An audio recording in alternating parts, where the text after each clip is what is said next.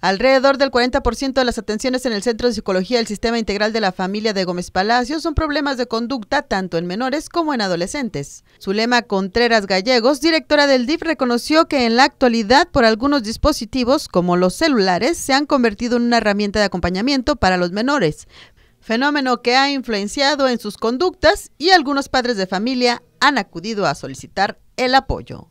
En que los niños dicen que son rebeldes en que los niños no pueden con ellos si quieren una, un apoyo psicológico o de rebeldía. Entonces nosotros eh, en el centro de psicoterapia no nada más es el niño, primero empezamos con los padres.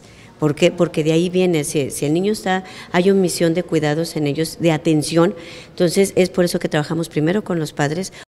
Contreras Gallegos añadió que el centro psicológico cada semana atiende un promedio de 60 familias, a quienes se les aplica de entrada una valoración psicológica. De ellas, 24 arrojan el problema de falta de atención, lo que da lugar a los comportamientos de conducta de los menores de edad. Griselda Anguiano, Mega Noticias.